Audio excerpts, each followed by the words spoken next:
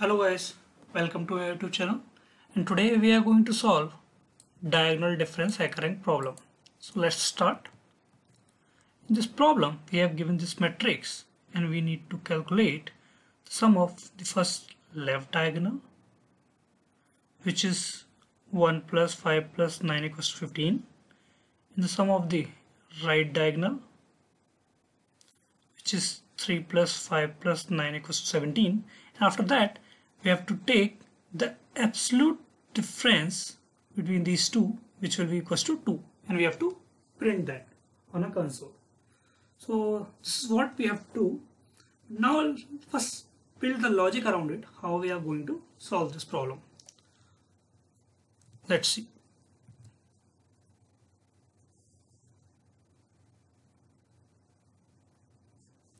First let's take an example. We are taking a matrix of 3 by 3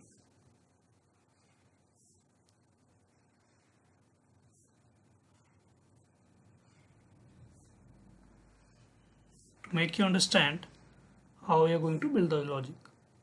So matrix is 3 by 3 so we can say matrix length length you can say equals to 3 like uh, we can say m equals to row which is 3 n equals to column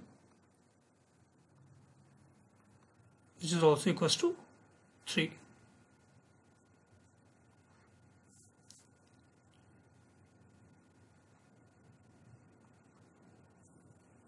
second.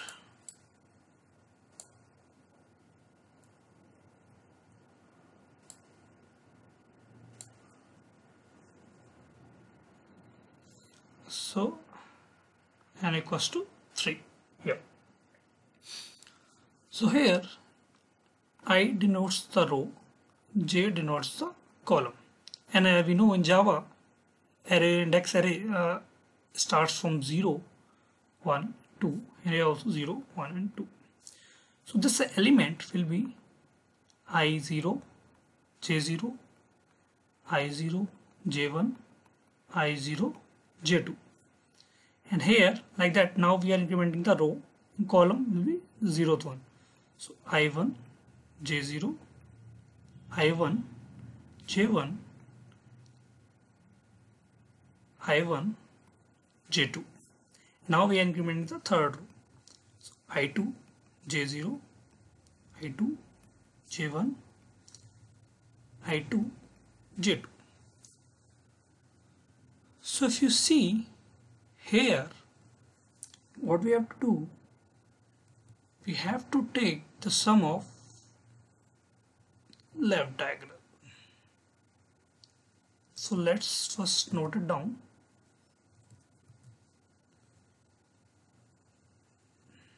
Left sum will be equal to i0 j0 plus i1 j1 plus i2 j2 so if you can note here here i and j both the subscripts are same. And we have to add all those elements where i and j subscripts are same. You can see right? Zeroth row zeroth column first row first column second row second column right? Uh, or you can say third row but due to subscript because array starts from zero we are taking uh, considering the second row and second column I hope you get this right. So this is the left sum what you have to do. Or there's no harm if we say we have to add all those elements of this array where i and j are equal. It means L for getting the left sum you have to sum all those pair of the i and j where i and j are equal. Or you can say what are the value of i the j value should be the same. It means there j equals to i. Suppose i value if you try to run through a loop so you can see where 5 equals to 0 j should be equals to i. It means it should be 0 0 0 if i equals to 1 then j should be equal to i which means 1 right? So like that we are going to add all those and then we will get the left sum.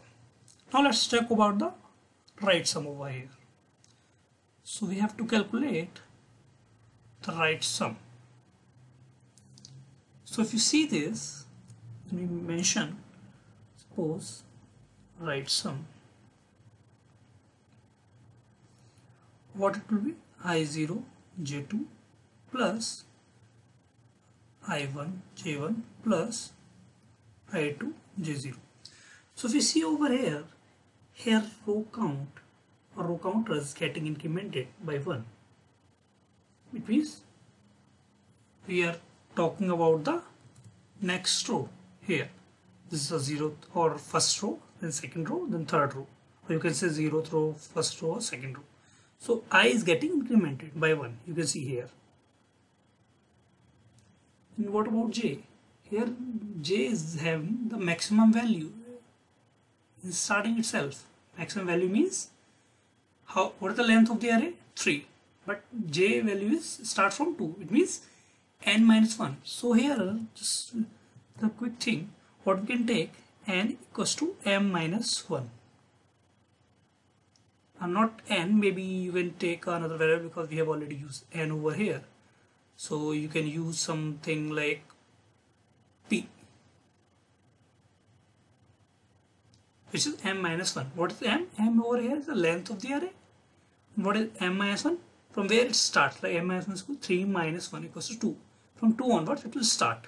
Because in array as we know if we have a length of 3 uh, we have to take the up to n n minus 1 I mean what are the length is there? Max length minus 1 because it starts from 0 onwards. Let's move.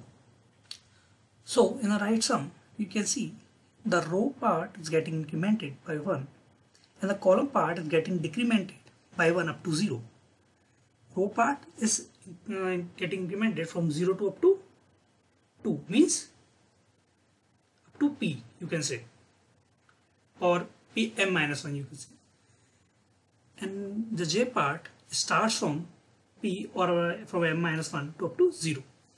If you are not able to understand the pattern, let me help you with this.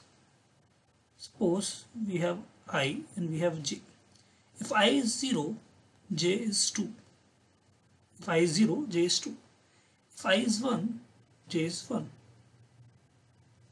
If i is 2, j is 0. So what you can see j value effect based on i. It's like if we are saying if 2 minus 0 if I'll do, I'll get see 2. If 2 minus 1 I'll do, I'll get 1. 2 minus 2 I'll do, I'll get 0. Means j value is totally depends on 2 minus i. 2 minus 0 you will do, you will get j value. 2 minus 1 you will do, you will get j value. 2 minus 2 will do, you get j value. But what is 2 over here? Here, the 2 is, if you see, it's now showed you, this is what the 2 is. 2 is nothing, it's 2 uh, highest or maximum subscript in the array. Or you can say, which is equals to p minus i and P is equals to or you can say P is equals to M minus 1 minus I.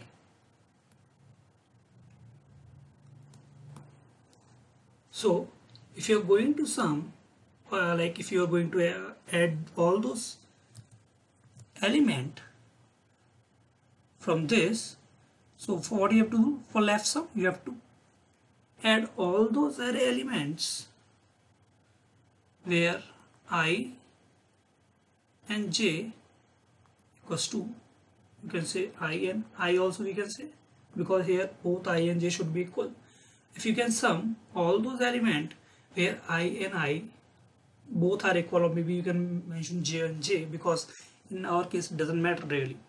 So you have to sum all those elements which you can access by this and to get the left sum so you can get the left sum. Just uh, loop through uh, loop through once and just add all those stuff where i equals to i or you can say j equals to j to get the left sum. And to get the right sum what you need to do you need to add all those elements where i will be i and j will be or you can say simply i.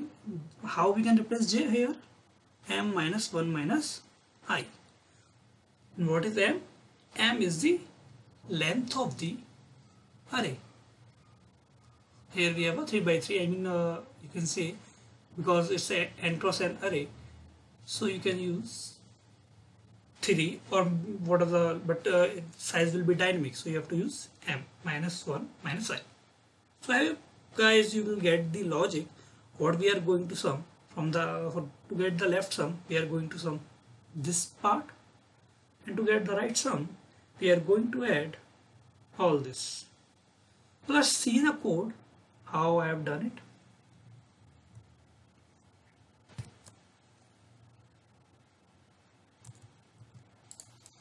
so guys here's the working code.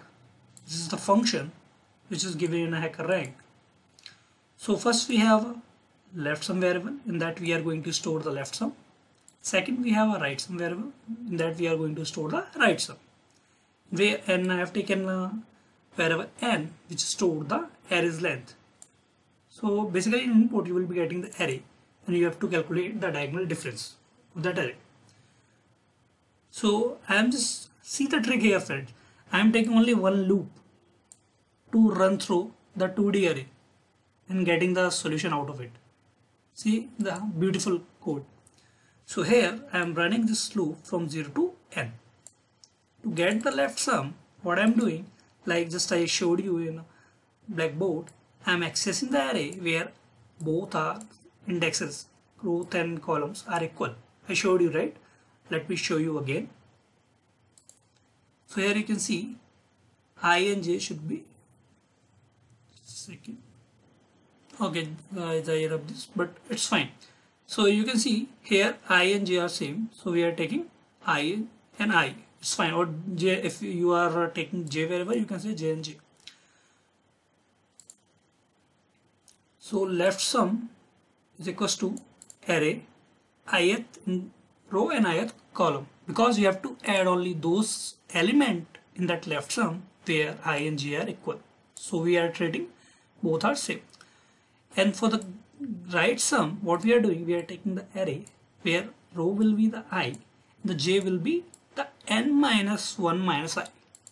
I already explained you guys why it's the n minus 1 because n is the length of the array and in array we start index from 0 to n minus 1 so this is that part means it's a maximum subscript which you can take in array because in that array start from the max subscript j will be start from the right top right corner right? So it will be n minus 1 and why it's minus i because every time row is getting incremented and column will be decrement. I hope it's clear to you. So finally what we are going to do because they are asking to us to return the absolute value. So I am using a function math.abs and that I am just taking the difference. It doesn't matter whether you take left sum minus right sum or right sum minus left sum because at the end you are going to do a mod of this which will be always positive. So let's run this code in HackerRank platform and see whether it works or not. so platform I've chosen the Java over here I'm just replacing my code over here. So let's run this.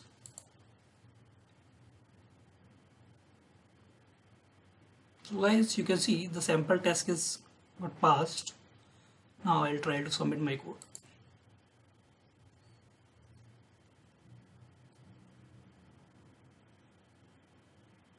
Boom. So guys now you can see all tasks got passed so it means whatever we have done it's a really good job.